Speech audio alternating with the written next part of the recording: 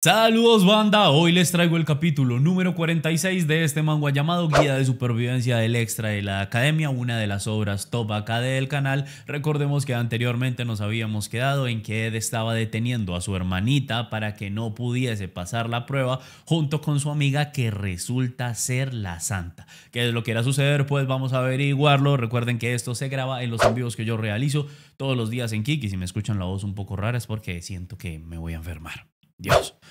En fin, vamos con este capítulo número 46.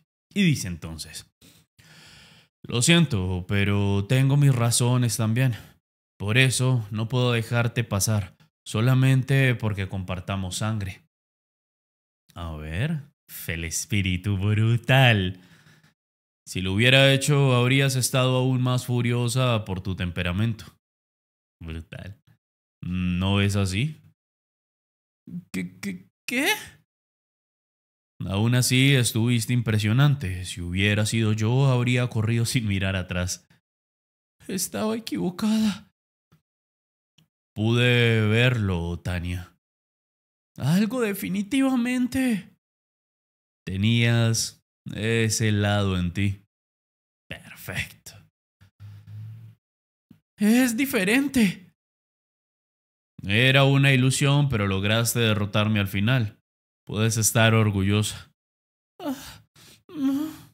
Parece que va a llorar.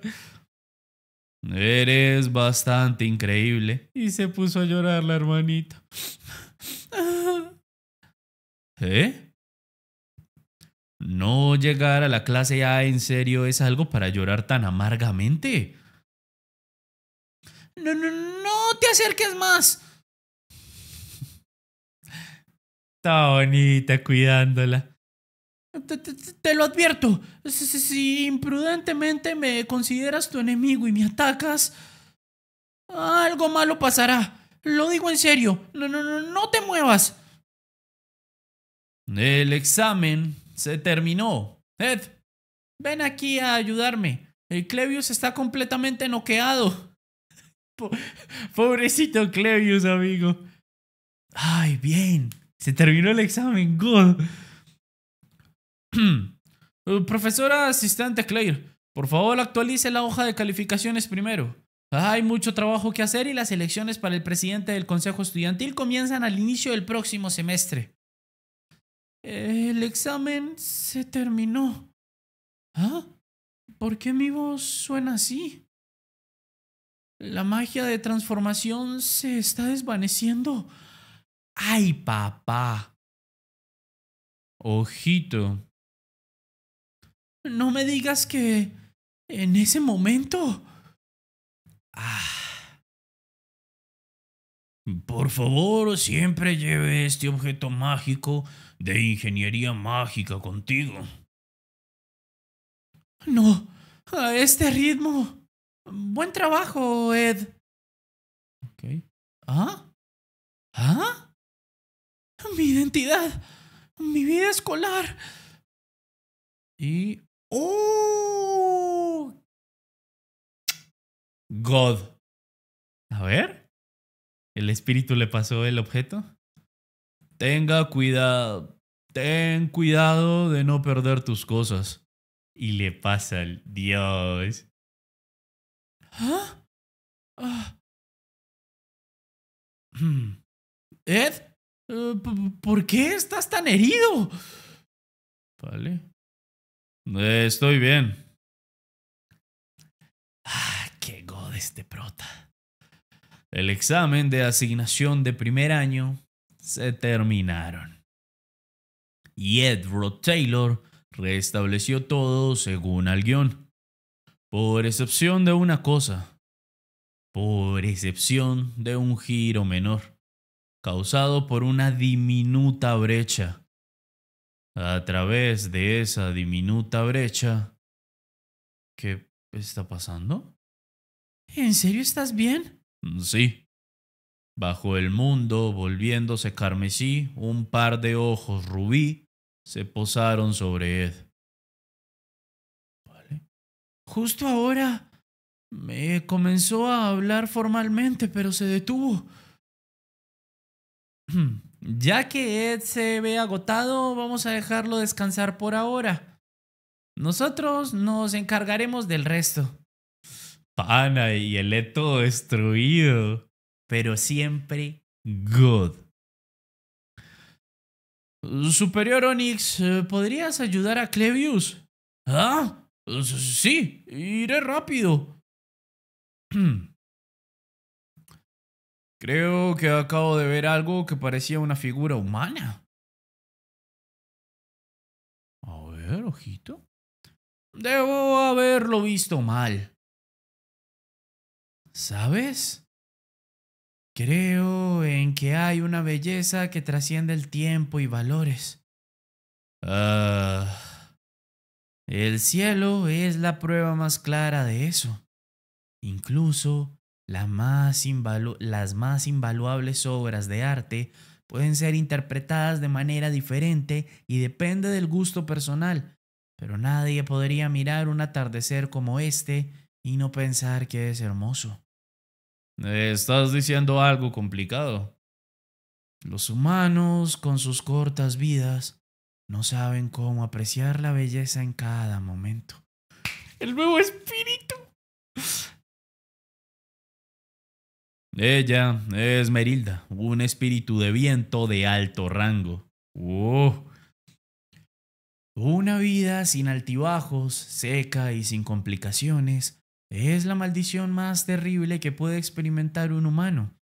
Deberían ser capaces de sentirse conmovidos por pequeñas cosas y darle significado a la vida diaria, ¿no crees? Ok. Si la vida de un humano es como las cuatro estaciones, entonces la vida de un espíritu sin duda es como un largo invierno, una vida monótona, una vida desolada. Justo como dijo Yanika. Es parlanchín. Tú eres alguien meticuloso y minucioso en todo, pero a la vez bastante insensible sobre ti mismo. Colapsar por trabajar demasiado y salir herido fácilmente son clara evidencia de eso. Ah, ¿Y eso qué? Lo que quiero decir es, deberías salir con alguien, idiota. Debe haber alguien alrededor de ti, alguien amable, animado, preferiblemente amigable. Haciéndole cuarto a Yanika. Y lo suficientemente fuerte para apoyarse. ¿No te das cuenta del apoyo emocional que puede brindarte, conectarte y crecer con alguien así? ¿Estoy equivocado? Tiene toda la razón, señora Merilda. Ay, para los mejores. En realidad, Merilda no hizo contrato con Yanika. Solo se volvieron amigas. Joven maestro Ed, los consejos de la señora Merilda son como escrituras sagradas entre los espíritus. ¿Por qué no intenta escuchar las palabras de Merilda incluso si piensa que lo están engañando? Oh. esa cara. ¿Engañando? Entonces, incluso cuando Mag y Merilda no tienen una relación de superior y subordinado directa como Tarkan, parece que sigue aterrado de los espíritus de alto rango. Este imprudente Mog ha cometido otro error. Debería eh, decir algo así. Eh, ¿Qué lo estaba engañando? Debo pagar por mis pecados con la muerte. Ahora que lo pienso, Yanika no parecía sentirse muy bien. ¿Saben algo? A ver. ¡Oh, ¿Por qué? ¿Preocupado? ¿No es algo normal? ¡Oh, Pero no hay manera en la que pueda simplemente soltar lo que Yanika ha estado dudando en hablar. Hmm. Como sea, no te preocupes demasiado. Sería bueno que Yanika experimente el invierno de vez en cuando. Es un proceso que tiene que experimentar para aprender y crecer. El mundo no es un cuento de hadas, ¿verdad? Solo necesitas mantenerte al margen. Hasta que llegue la primavera. ¿Deberíamos dejarlo por hoy? Me siento mal por seguir consumiendo tu poder mágico. Sí, no es fácil manejarlo incluso en esa forma. Soy bastante cara, ¿sabes? Aunque esta forma es la más eficiente. ¿Tienes otras formas? Sería bueno que me mirara más como una hermosa chica. Sería un festín para los ojos, pero podrías no ser capaz de manejarlo. O sea que ya sabemos que este espíritu puede tener forma de humana. Importante. No es suficiente. Solo lo dije porque no parece haber mucha diferencia. En eficiencia entre ahora mismo y cuando eras gigantesca. Vaya, no puede ser. Podría ser que no lo notaste por la piedra mágica. Todavía eres un poco torpe. ¡Ah! ¿Y se fue? Ok. ¿En serio pensaste que podrías manejar todo ese poder mágico por tu cuenta? Piénsalo. Un espíritu de mi nivel no haría un contrato con una sola persona. Ok. Yanika. Pues ya dijeron que no tenían un contrato, pero igual de pronto para poder estar con Ed y que no le drenara todo el poder mágico, igual y pudo haber intervenido. A ver, que nos den más data de esta joyita. Y desapareció. Muy bien. A ver. Definitivamente no puedo invocar un espíritu de alto rango por mucho tiempo con mi poder mágico actual. Si no era mi poder mágico, entonces ¿de quién era? Es algo simple de resolver cuando lo piensas. alguien que no soy yo hizo un contrato con Merilda. ¡Oh! ¡Lucy! ¡Ojito! No creo que este sea un buen lugar para tomar una siesta. No estoy aquí para tomar una siesta. Una cabaña sería mejor para eso. Dios. Entonces, ¿por qué? Ey, ey, ey, ey, ey, están empezando a cambiar a Lucy. ¡Ojito! ¡Está creciendo! A ver. Realmente no me gustan las cabañas vacías. Por eso salí a pasear. Tristemente, el altar de sustitución al que llegó al final de su paseo es el final del escenario 3. Vamos, otro más superado. Clarice se da cuenta de la oscuridad de la orden sagrada y cuestiona a la iglesia y se vuelve la santa del escepticismo. Los apóstoles de Telos se dirigen a la isla Haken declarando que condenarán a Clarice. En ese momento, las figuras de la academia siguen el mensaje del arzobispo sin conocer las verdaderas circunstancias. Ok. La Guardia Imperial de la Princesa Fenia, el gremio de mercenarios del Hortel, la Orden de Caballeros Sagrados y el personal senior de la Academia, e incluso la fuerza de ataque de la generación del protagonista y el director y el director Obel Forceus. En los hilos enredados del destino, al final, las armas de todos apuntan hacia un solo objetivo. Alguien intentando proteger la isla Haken, siguiendo las últimas palabras de su maestro. Ay, se viene el arco duro. Una chica. Dios apóstoles, escépticos, sin importar cómo sean etiquetados, sin soltar ni una sola queja, ella los mira tranquilamente hacia abajo, como la despertada. ¡Wow! ¡A madre! Lucy Merrill. Supera a todas las figuras clave de la isla Haken bueno, creo que igual, como no hay H, sería Aken. Ok.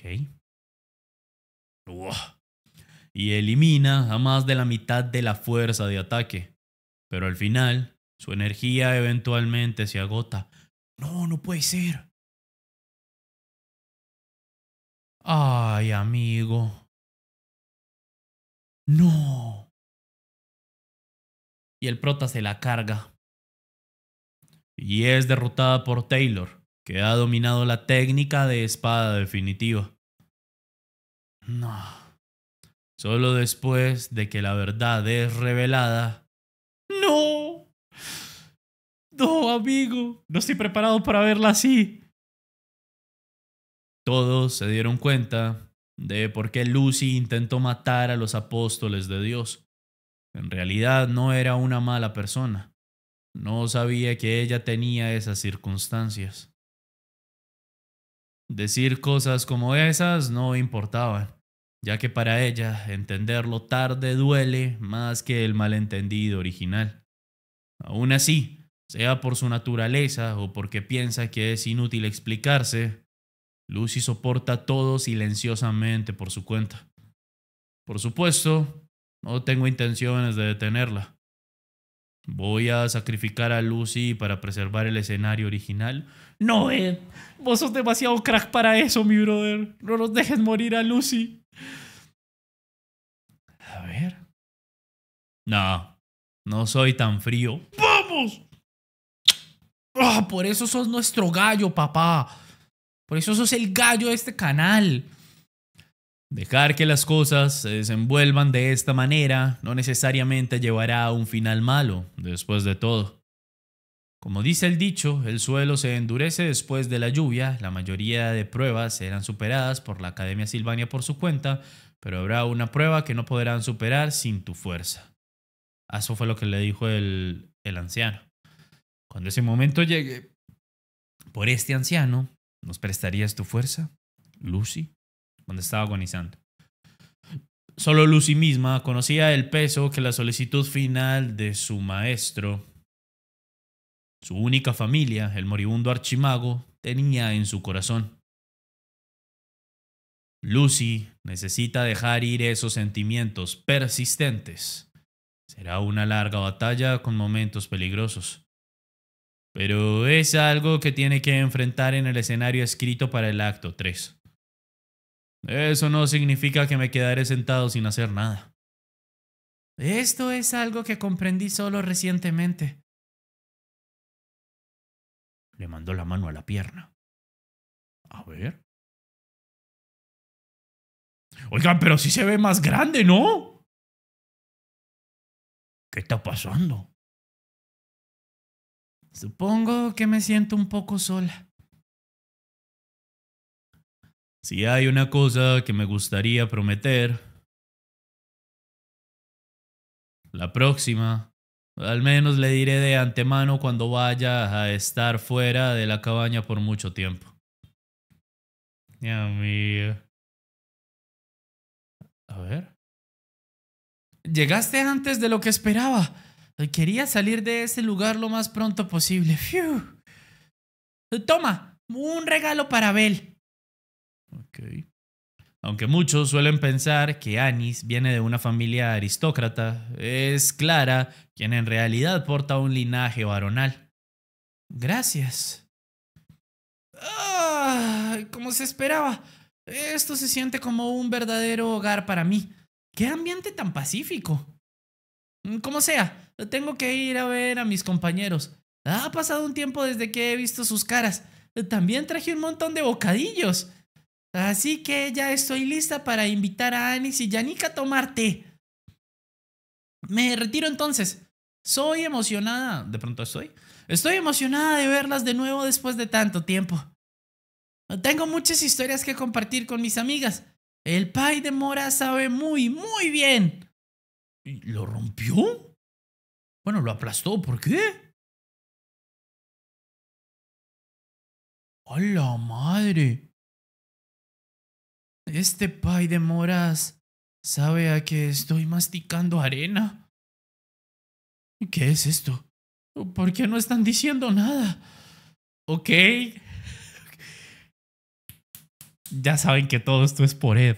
A la madre, amigos, se reencontraron. ¿Se pelearon? Cada pequeño argumento entre Yanika y Annie solo eran bromas inocentes. Nunca han tenido esta clase de ambiente. Debería pensar en alguna clase de broma entonces. ¿Qué sería bueno? Anis. Ay, papu. Ojito. Tú. Escuché que estabas apegándote a Ed. No, pero con la cara con la que lo dice, brother. Y con esto finaliza el capítulo, papu. God. Qué joya de... Yo siempre digo esto al final de cada capítulo de Guía de Supervivencia. Es una joya, es una maravilla. Qué delicia de obra, qué maravilla de arte. La historia está brutal. Ustedes ya me dejarán en los comentarios cómo les está pareciendo la obra. Ya saben por qué es la obra top 2 acá del canal. Es sencillamente maravillosa. Muy atentos porque parece que se viene el arco más difícil en esta historia, se viene el arco más complicado porque, amigo, donde nos lleguen a quitar a Lucy, yo no sé qué es lo que va a suceder. Yo ya con esto me despido, no sin antes darle las gracias a todos los que siempre están apoyando el contenido, a todos los que siempre están ahí comentando, compartiendo. De verdad, banda, muchas gracias por todo ese apoyo. De verdad me ayuda un montonazo. Ahora sí, ya con esto me voy. Les mando un abrazo gigantesco. Cuídense mucho y nos vemos en un próximo video. Bye bye.